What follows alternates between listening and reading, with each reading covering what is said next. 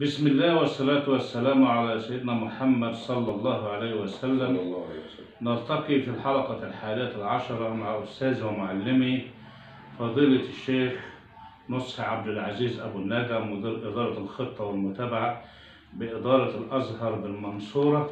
سابقا ونستكمل من شرح كتاب غفران الذنوب وتنوير القبور بالصلاة على الرسول صلى الله عليه وسلم. صلى الله عليه وسلم. تفضل يا أستاذ. إجابة الدعاء. نعم. عن علي رضي الله عنه قال قال رسول الله صلى الله عليه وسلم كل دعاء محجوب حتى يصلى على النبي صلى الله عليه صلى الله وسلم. عليه وسلم. عن فضالة بن عبيد رضي الله عنه قال قال رسول الله صلى الله عليه وسلم. إذا صلى أحدكم فليبدأ بتمجيد الله والثناء عليه ثم يصلي على النبي صلى الله عليه وسلم ثم يدعو بعد بما شاء. صلى الله عليه وسلم. صلى الله عليه وسلم. هنا دي تحت عنوان إجابة الدعاء في باب فوائد الصلاة على النبي صلى الله عليه وسلم. للأحياء والأموات. صلى الله عليه وسلم. الإنسان حينما يدعو الله سبحانه وتعالى الدعاء يكون محبوب إذا لم يكن قبله الصلاة على النبي صلى الله عليه وسلم. وهناك فرق بين محبوب ومقبول. المحبوب جاي من الحجاب مثل ما أقول حاجب المحكمة يعني يمنع إنسان من الدخول. نعم. فهذا الدعاء إذا لم يكن مغلفا مسبقا بالصلاة على النبي صلى الله عليه وسلم لا تفتح له أبواب السماء. لم تأذن الملائكة له بالدخول من أبواب السماء ولا يصعد إلى الله سبحانه وتعالى. سبحانه وتعالى. ولكن إذا كان مغلفا بالصلاة على النبي صلى الله عليه وسلم تفتح له أبواب السماء ويرفع. هنا إذا فتحت أبواب السماء لا يكون محجوبا. يعني ما يكونش معمول له حظر. يبقى طلع إلى السماء. حينما يصعد إلى السماء هنا بقى الله سبحانه وتعالى هو أعلم بصنعته أي خلقته وخلقه. فممكن أن يعاجلك بالإجابة وممكن أن يمهلك يعني يؤجلها لأن عليك بعض الذنوب الصغيرة. فيريد أن تستزيد من الصلاة على النبي صلى الله عليه وسلم لأن العمر مهما طال فإنه قصير. فلا تتعجل الله سبحانه وتعالى بالإجابة وسوف يعطيك إن شاء الله. والرسول صلى الله عليه وسلم هنا يقول لك أن أي دعاء مغلف بالصلاة على النبي صلى الله عليه وسلم يقبله الله. أما وقت الإجابة فلا يعلمها إلا الله. آه ال- الشيء الثاني قال رسول الله صلى الله عليه وسلم إذا صلى أحدكم فليبدأ بتمجيد الله. والثناء عليه. تقول سبحان الله الحمد لله آه ثم تثني على الله سبحانه وتعالى. لماذا الرسول صلى الله عليه وسلم يوجهك أن تلجأ أولا إلى الله وليس إلى رسول الله صلى الله عليه وسلم مباشرة؟ ثم بعد ذلك تصلي على النبي صلى الله عليه وسلم. ثم بعد ذلك في المرحلة الثانية تدعو بما تشاء. تمام. وفي الحديث الأول كله دعاء محجوب قد يكون الدعاء الذي جئت بالصلاة على النبي صلى الله عليه وسلم فيه آه، قد يكون أنت تقدم الصلاة على النبي في شيء أصلا مرفوض. يعني شيخ نصحي حقا ينفع إن فيه واحدة من الطرائف اللي حصلت لي. أيوه. واحدة بعتها لي بتقول لي أنا كنت بحب واحد. أه. وهو اتجوز واحدة تانية. مم. فممكن أصلي على النبي بحيث يطلق زوجته. ما ينفعش. وي- وهو اتجوز واتجوزه. قلت لها يعني أنت عايزاه تطلق يبقى موت وخراب ديار. يطلق زوجته؟ قالت لا ما هي يطلقها. ما هو أنا كنت أحق منه. دي كان ملكي وهي سر- سرقته مني. انت خدت بالك؟ يعني دي من الطرائف يعني والأشياء اللي اللي تجيب الضغط في نفس الوقت يعني تجي لي أسئلة من هذا القبيل. ينفعش. يعني واحدة تقول لي الصلاة على النبي ما عملتليش حاجة ده تعمل لك حاجة فين في خراب البيوت. ما ينفعش. طب واحدة عايزة تتجوز واحد والواحد ده قريبها أو مش قريبها وتصلي على النبي عشان تتجوزه نفترض إن الواحد ده أصلا هيترتب عليه ممكن تخليها تكفر بالله ممكن يشردها ممكن يهمل لها حقوقها ممكن يكون عاصي ممكن يكون من أهل النار وربنا بيختار لها الخير. يبقى أنت ما تعرفش الخير فين. ولكن أنت لا تقدم الصلاة على النبي صلى الله عليه وسلم في أعمال الشر. لأن أنت ما تجيش إيه تقول إيه, إيه أنا بصلي على النبي إيه, إيه ذنب الصلاة على النبي. العيب فيك أنت. مش العيب فين؟ في الصلاة على النبي صلى الله عليه وسلم. وهنا آه، في الحديث الثاني فيه فضيلة قالها أبو سليمان الضرمي وعلي بن أبي طالب رضي الله عنهما قال قال إذا أحب أحدكم أن يستجيب الله بدعائه فليصلي على النبي. صلى الله عليه ثم يسأل الله حاجته. ثم يصلي على النبي. فإن الله أكرم من أن يقبل الصلاتين ويدع ما بينهم. الله. يعني الصلاة على النبي في الأول والصلاة على النبي في الآخر والدعاء في الوسط. يقول لك ربنا هيقبل الدعاء مغلف. هيقبل الصلاة على النبي سواء كنت طاهر أو غير طاهر فاسق أو غير فاسق سارق زاني حرام كله ربنا بيقبله. أما الحاجات التانية هيحاسبك عليها طبعا. ولكن لو استمرت في الصلاة على النبي بيقوم جاي يجي في وقت معين يقوم منقى قلبك يقول لك بس أنت قلبك هيبدأ ينور هتلاقيك كفيت عن هذه ال- الأشياء ال- التي تغضب الله سبحانه وتعالى مرة واحدة. إذا الصلاة على النبي صلى الله عليه وسلم تحسن الخلق والله سبحانه وتعالى يقبلها ويكون لك رصيد آه، إن شاء الله في وعشرين. آه، حاج نصحي آه، الصفة تاع تنفي البخل. أيوه. الصلاة على النبي صلى الله عليه وسلم تنفي البخل. نعم. عن علي بن أبي طالب رضي الله عنه قال قال رسول الله صلى الله عليه صلى وسلم الله عليه وسلم البخيل الذي من ذكرت عنده فلم يصلي علي اللهم صل على سيدنا محمد. وبارك عليك يا سيدي يا رسول يعني أنا بشوف يعني واحد قاعد يقول يا عم صل على النبي يقول له يا عم ما إحنا بنصلي. يا عم صل على النبي يا عم أنت هتقول لي يعني أنت هتعلمني. ما يكون في ناس بيتعاركوا مع بعض. هو أصلا الشيطان راكب دماغه مش عايز يصلي على النبي. زي إيه ليه؟ الصلاة على النبي دي لها أنوار. فإذا كان عندك ظلمات كتيرة انت ما بتستفادش إيه من هذه الانوار بشيء. بل ربنا بيطردك لأنك بخيل. زي مثلا الصفحة اللي عندنا مجموعة الاستشفاء بالصلاة على النبي. وصلت 25010 أفراد. فجأة لقيناها قلت 22 واحد. ليه؟ لأن لما دخلوا الحلقات وبدأنا نشرح فعلا في الصلاة على النبي وجدوا إن الحاجات دي تقيلة عليهم. ليه؟ لأنهم منغمسين في المعاصي تماما. فهم مش متحملين حد يقول لهم صلي على النبي. صلى الله عليه وسلم. هم عارفين إن هم مذنبين. يقول لك لا هو هيفكرنا بذنوبنا. هو دائما هيفكرنا إن إحنا مقصرين مش عايزين نشوف شكله خالص. فالناس اللي هي بخيلة أصلا ربنا بينفذ الخبث من البحر. الخبث بيطرده من البحر. بيطلع, بيطلع على الشط. برضو الخبث من قناة الاستشفاء بالصلاة على النبي ربنا بيطردهم صحيح. والخبث من مجموعة الاستشفاء بالصلاة على النبي ربنا بيطردهم وهم أدخل خلق الله قاطبة على الأرض. لذلك أنتوا لما تكونوا بتحبوا النبي صلى الله عليه وسلم كل واحد فيكم يقول أنا هدخل 100 من أصدقائي بالاسم يبعت لهم كده رسائل ادخل على القناة ادخل على كذا. ولكن أنتوا ما بتعملوش. أنتوا بتسمعونا ما بتعملوش. إحنا عايزين ننصر النبي صلى الله عليه وسلم عملي. صلى الله عليه وسلم. انت في ناس بتمسك بتمسكنا رسائل من أول اليوم كأن إحنا مجنونين ليه.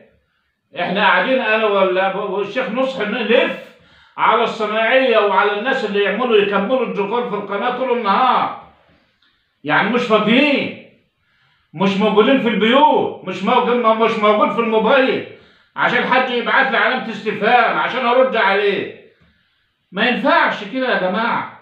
أنا عايز الواحد يبعت لي الرسالة مرة واحدة في الأسبوع. ولا يتعجلنيش لأن إحنا لسه ما بدأناش في القناة. الحلقات دي مش بداية القناة بداية تانية برامج مستمرة 24 ساعة. إن شاء الله. إن شاء الله على على الامر الصناعي إن شاء الله يا رب. خدت بالكم؟ فالبخيل هنا شوف الدكتور حسن الله يكرمه دايما اذكره بالخير في الإمارات. كان بيبكي النهارده قبل العصر قبل ما بقول أنا نفسي أروح لدكتور طبيب زميلي أنا خايف لما يساهمش معانا في نصرة النبي. أنا عايز أعمل هبات الرحمن في المكسبين من الصلاة على الخير. أنا مش أنا بس؟ عايز الناس كلها تعمل. أنا عارف اثنين أطباء. في واحد بينه وبينه ثلاث ساعات. تتذكر ممكن ينصفني؟ ممكن ما يكشفنيش في واحد قال لي أنا هعمل حاجة. ولكن الواحد ده أنا مش مطمن. أنا خايف لما يكشفني كأنه هو أصبح همه. الصلاة على النبي. ده طبيعي. صلى الله عليه وسلم. مش واحد عادي يعني. صلى الله عليه وسلم. هتقول واحد مناخوليا ولا واحد كده هوائي؟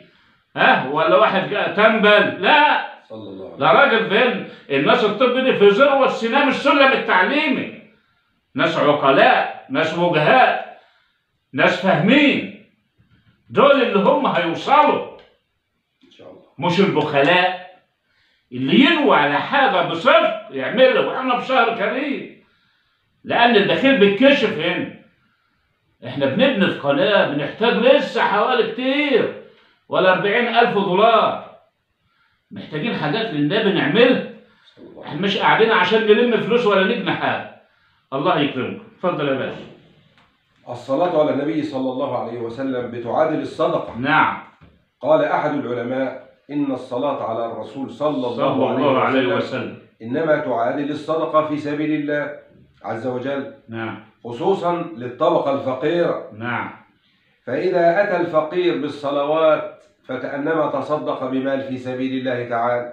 نعم. لعل هذا العالم الجليل أخذ هذا المعنى من قول الرسول صلى الله عليه وسلم عن أبي هريرة رضي الله عنه قال قال رسول الله صلى الله عليه وسلم أكثروا الصلاة علي فإن صلاتكم علي زكاة لكم اللهم صل على محمد. خلي بالك الزكاة جاءت في أكثر من حوالي 11 موضع في القرآن الكريم بمعاني منها الطهارة ومنها النماء أه ومنها الزكاة الشرعية ومنها الثناء على الحسن أه فإذا إحنا هنقولها لما نيجي لهبات الرحمن في المكسرين من الصلاة على خير لأن أول أول الحديث هنا أكسروا. فأي حاجة فيها أكسروا دي لها وقفات. وهذا له إعجاز علمي ثلاث حلقات في زكاة الصلاة على النبي وأنا أشرت إليها بجزء بسيط حتى لا نسكن مسامعكم على مجموعة الاستشفاء بالصلاة على النبي صلى الله عليه وسلم. ولكن في المعنى البسيط القليل للناس البسطاء خالص اللي هو ما يقدرش يعمل أي حاجة لنصرة النبي يصلي على النبي دي الزكاة بتاعته صلى الله عليه موجز وسلم. الكلام. صلى الله عليه وسلم.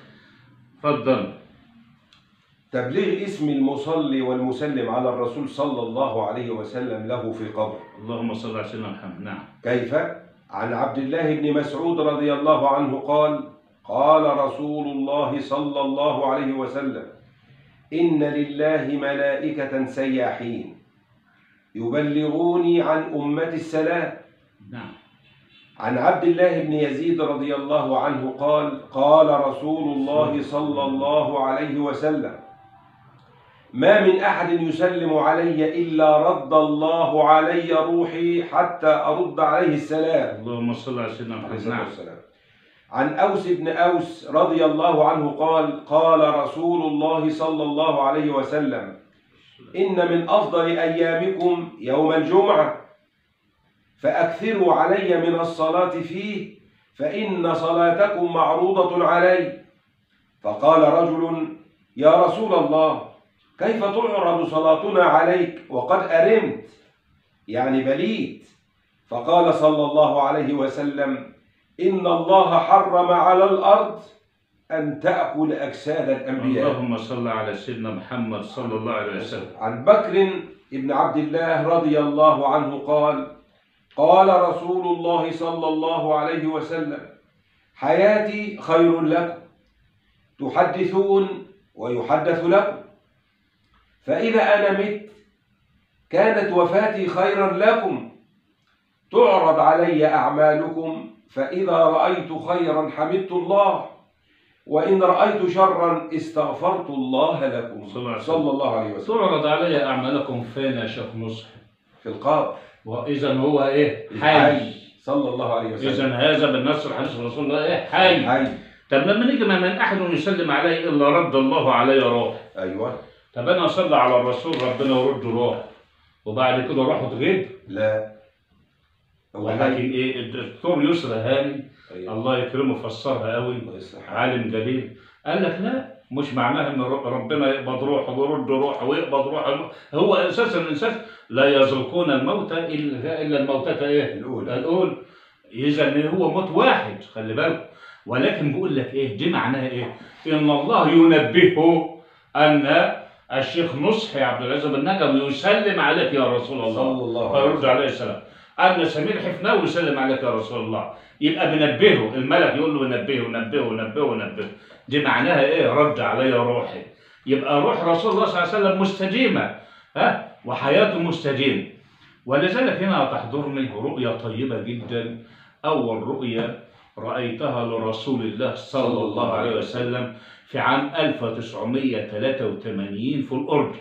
ابقوا معنا وشوفوا الشريط للآخر. أنا لسه أول مرة هقولها أنا كنت في الأردن عام 1983 في بلدة اسمها سمر. سمر محافظة إربد. وفي غرفة معينة قبل صلاة الفجر جاء رسول الله صلى الله عليه وسلم زائرا ودخل الغرفة وكانت أول رؤية في حياته. أنا كنت طالب في الجامعة في السنة الثالثة ورحت ثلاث شهور سياحة كده نشوف إيه في الأجازة كنا نلف على الدول كده فوجدته دخل وكان مترددا ثم خرج ودخل وخرج كأنه كان مهموما وملابسه كانت ليست على المستوى اللي, اللي إحنا نشوفه. فلما دخل على الغرفة وجدت الملابس جميلة جدا. وهو يلبس آه، ملابس زهرية يعني زي لون السماء كده. فصلى أمامي. وشفته وهو راكع وسلم. كأن سلسلة ظهر مفصلة. الضلوع قوية. وكان متين. وكان حينما يركع ويقوم كأنه يحتضن الأرض ويقوم وتقوم معه ويسجد معه. ثم نام على شقه الأيمن. ورأيت وجهه أزهر أنور. فقلت له من أنت؟ قال أنا محمد رسول الله. صلى الله دي عليه بمناسبة إيه؟ إزاي ن- إزاي يا رسول الله صلى الله عليه وسلم إحنا آه، آه، آه، بتعرض علينا صلاتك وأنت قد إيه؟ أرمت يعني بليت يعني جسمك تحلل يعني لا. أنا قلت له إزاي أروح لواحد للناس من أهلي وأقول لهم إن أنت لسه عايش وأنت زمان خلاص الدود أكل جسدك من زمان واتحللت قال لي الحديث خلي بالكم عشان الرسول صلى الله عليه وسلم قال إيه؟ من كذب علي متعمدا فليتبوأ مقعده من النار.